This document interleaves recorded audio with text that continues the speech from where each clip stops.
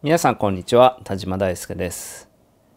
まあ、私たちにはですね常にこう見えていないもの聞こえていないもの、まあ、感じられていないもの、まあ、そういったものがたくさんあるんですね。でそれらをスコトーマっていうふうに言っています。まあ、視覚情報だけではなくて、まあ、私たちがこう知らないものも含めてたくさんのものがこうあって、まあ、そこにこう私たちの可能性があるというこう見方ができると思うんですね。ですのでスコトーマというのは一つの私たちの可能性の裏返し、まあ、そのスコトーマ今私たちが認識できていない、まあ、ありとあらゆる情報の中に私たちの可能性が眠っている。なのでどうやったらじゃあ今度スコトーマを外していくことができるのか？そのスコトーマに隠れているものを自分自身が認識できるようになるのか、まあ、コーチングではですねそのスコトーマの中に可能性があってそのスコトーマをどうやって外していくのかということのまあ、方法論がいろいろとあります。まあ、その中で今回はスコトーマを外していく上での、まあ、一つのこうやり方をですね紹介したいと思うんですね。まあ、今回取り上げるのは自我というものです。自我とは何かっていうと、まあ、いろんな定義の仕方ができるんですけれども、まあ、一つの定義の仕方は自我とは重要性関数である評価関数であるという見方ですね。まあ、いきなり関数っていうとね、あのもしかしたらあの文系の方だと「関数」って言ってもそれだけでちょっとこう嫌な感じがする人もいるかもしれないですけれどもまあ大丈夫です。あのまあ、簡単に言うとその自我とは評価関数である重要性関数であるってどういうことかっていうと、まあ、ありとあらゆる情報があります。まあ、全宇宙の情報だとしましょう。でそれを自分っていうか、まあ、自我っていうものに通してあげる。でそうするとその自我っていう関数を通して出力されるものは自分が重要だと思っている順番に並び替えることができる、まあ、そういった関数が自我という評価関数なんですね。なので全宇宙の情報を自我に入れてみる。でそうするとその自我っていうフィルターを通して、まあ、その情報に、まあ、順番がつくと思ってください。でどういう順番でその決まっていくかっていうと自分にとって重要なものの順番でそれが決まってくるっていうことですね。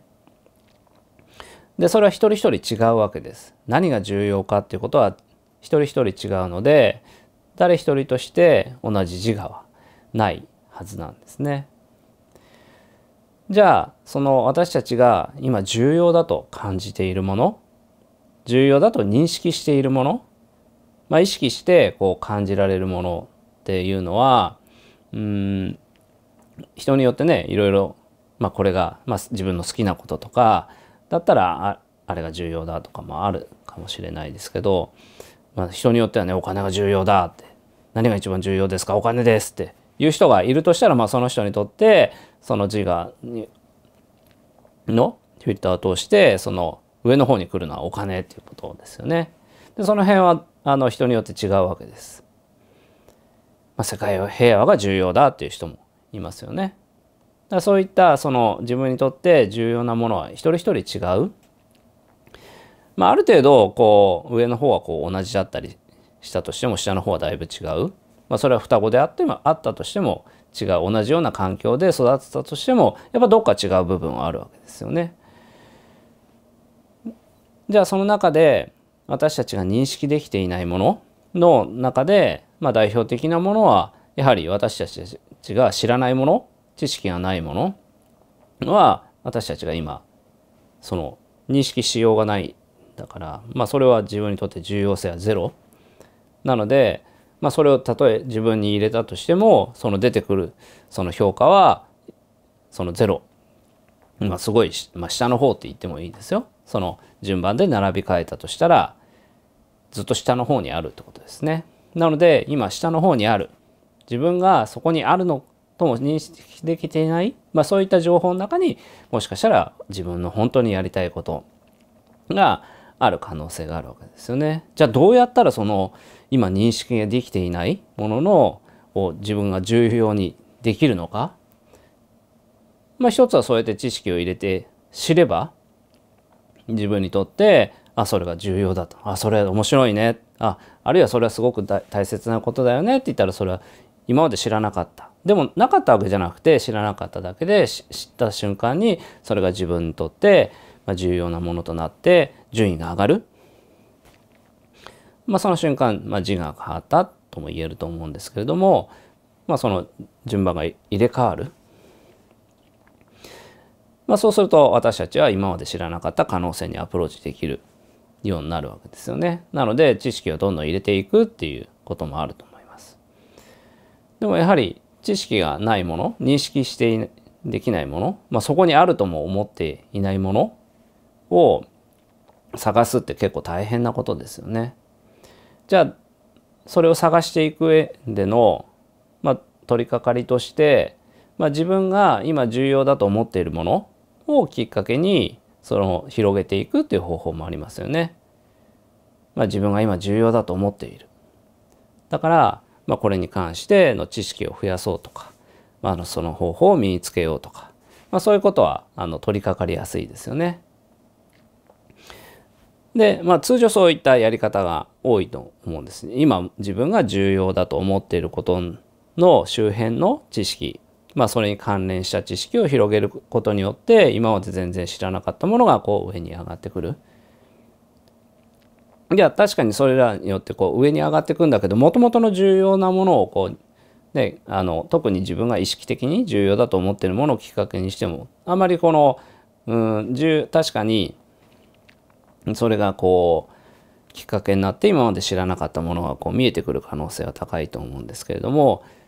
じゃあ自分が意識して今じゃあ自分にとって重要なもの全宇宙の情報の中で自分が重要だと思ってるものをトップ10を出してみてくださいと。試しに皆さんも書いてみるといいと思うんですね。今その正確にね1番と2番とか2番と3番がどっちが上かなっていうことをあの、うん、考え出すと多分順位がつけられなくなるかもしれないですけど、まあ、まずパッと浮かぶ自分が重要だと思うものを10個書き出してみる？まあ、それは自分が今すぐに分かるものだから自分にとってきっとすごくじゅ、ね、重要なものなんだと思います。まあ、お金が大事とか仕事が大事とか家族が大事とかなんか趣味の何とかが大事とか、ね、いろいろ出てくると思うんですよね。でそうやって出てきたものは皆さんにとってその自我を今の皆さんの自我においてすごく重要なものなわけです。じゃあ実際には今出てきた10個の中よりも上のものがないのかっていうとそんなことはきっとないと思うんですね。自分が今意識していないだけで実は重要なものってもっとあるかもしれないですね。例えばですよお水とかね空気とか土とか太陽とか地球とか微生物とかなんかいろいろあのありますよね。これらどれをかけても多分私たちはあの生存を維持することができないあるいは、まあ、自分たちが日頃食べてる食べ物すら食べることができない、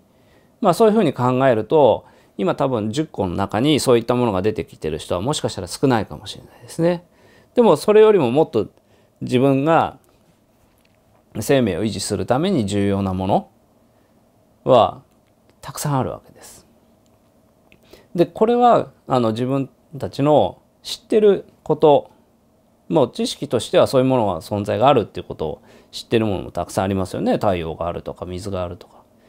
土があるとか。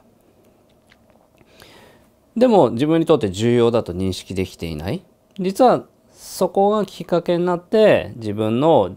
重要なものがこう見つかっていく抽象度が上がっていくきっかけに結構できるんですね。ですので自分が重要だよって取り上げたなんか下の方から、えーと、自分の重要なものは何何かなっていうことをこう悩むよりも自分が今重要だよと思っているよりもより重要なものをきっかけにそのそれをもっといろいろ調べてみる。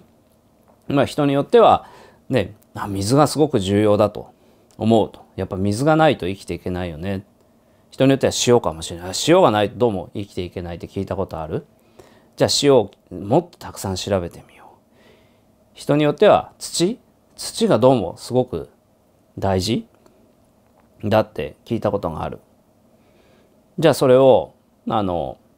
もっと調べてみよう。あそうするとどうもその人間、まあ、英語で言うとヒューマンヒューマンの語源はどうも土らしいと。まあ、腐食あの腐るにこう、えーと、植物の植ですよね腐食の、まあ、それが言葉が語源でまあ言い換えるとそれは土のことなんですけど、まあ、土が語源なんですねヒューマンの。っていうことが分かったりとか地球の歴史が46億年ある中でどうも土ができたのは5億年ぐらい前らしいと。なんで5億前年前にできたんだろうかっていうといろんなことが分かってくるわけです。っていうふうに、まあ、その自分自身が重要だと思っているよりもより重要だけど認識できていなかった、まあ、その生命の維持に必要なこと、まあ、それをどんどん掘り下げてそこからいろんなことをしていくと水を知ると、ね、水ってね世界中にこうあるようで言うけど実際に地球の中で飲める水ってごく限られている？じゃあどんなねとこにあるんだろうか？っていうとその日本はねたくさん水にが豊かな国だなってことも知るだろうし世界中には水に困っている人たちも含めてあるいはこれからその水ってものがますます重要になってくる大切になってくるってことをきっかけにあじゃあそれをきっかけに、まあ、世界ってことを知る？